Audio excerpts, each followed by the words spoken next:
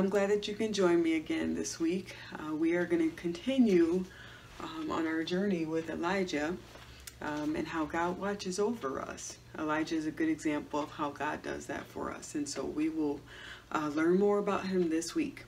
So as we always do, let's open up with a word of prayer and invite the most important person into this class.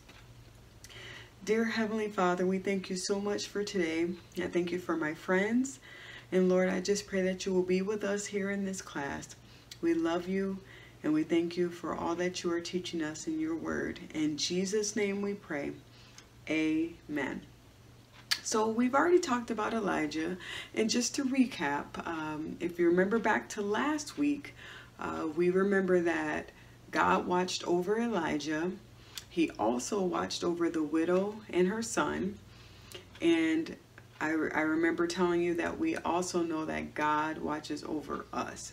So no matter what's going on, we know that he will take care of us. He keeps us safe, he protects us, he loves us, and he cares. And so one thing we want to remember from last week is that uh, Elijah is a prophet. And if you remember what that is, that is a person that has a message from God and they deliver that message, whether it's a good message to the person or something that they may get angry about. So as we remember, King Ahab got one of those messages uh, delivered through Elijah from God. And he was not happy with that. So as you remember, he was very angry. Now, the reason why he was so angry is because God had told him that he was not happy with him because he was uh, not serving him. He was serving idols. He was worshiping idols. And as we know, we are not supposed to worship idols. So King Ahab continued to worship idols. Let's see what happens because we remember last week that Elijah was taken care of in the desert and he was also taken care of by getting food uh, from the birds and water from the brook. And then he also ends up getting bread from the widow. And God ended up taking care of the widow and her son. So now let's see what happens next. This story is called Fire from Heaven. So we have the same characters. We have Ahab and Elijah, but we have a few more people that we're going to hear about in this story. Ahab was still king of Israel. He prayed to an idol called Baal.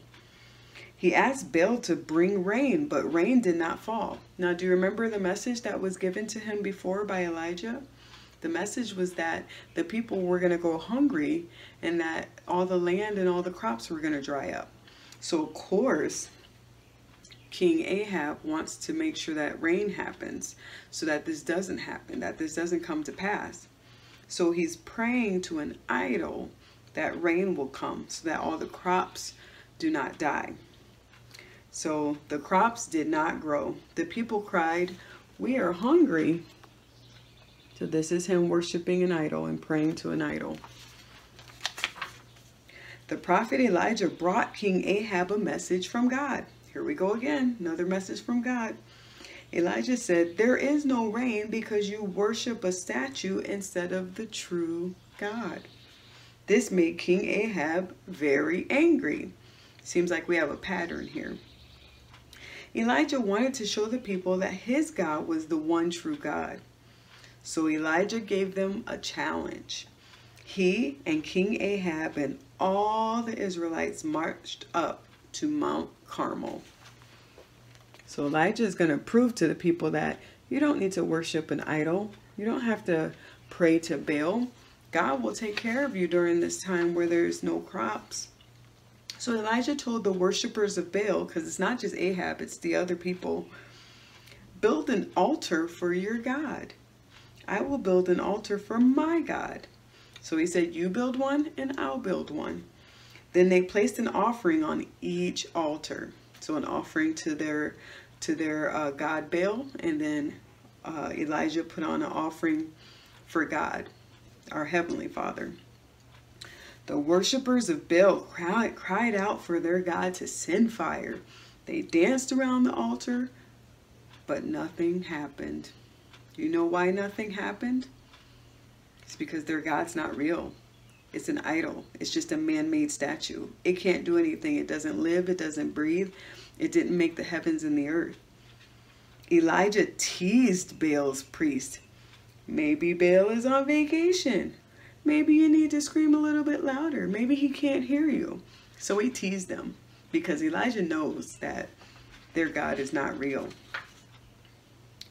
So Elijah dug a trench all around his altar. So let me show you the picture of the worshipers. They're trying to dance and they're trying to really get Baal to listen to them. But let's see what Elijah does.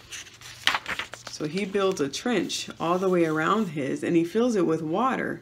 Now, how is fire going to come down from heaven if you build a trench and put water in it? Doesn't water stop fire? What is Elijah up to? Let's see. Elijah dug a trench all around his altar. He poured water over everything. Water even filled the trench. Elijah prayed. It is so important for us to pray when we have need for something or even just to thank God. We should always be in the habit of praying and talking to God, whether we need something or not. We should always thank Him for all He has uh, already done for us. But if we have a need, we can also go to Him. So suddenly, fire came down from heaven. The sacrifice burned up. The stone altar burned up. Even the water in the trench was gone. So the fire came down from heaven. So even though Baal didn't hear his worshipers, God heard Elijah when he prayed. And not only did he come down with fire, but he burned up everything, the sacrifice, the altar, and the water. When the people saw what had happened, they bowed down and worshiped the one true God. Before long, God allowed it to rain again. So God kept them safe, gave them rain, heard their prayer, heard Elijah's prayer, and he answered it. Do you remember our verses from last week? It says in 1 Peter 5 and 7 that we should cast our cares upon him, for he cares for us. And then do you remember Philippians 4.19 that says, But my God shall supply all your need according to his riches in glory by Christ Jesus.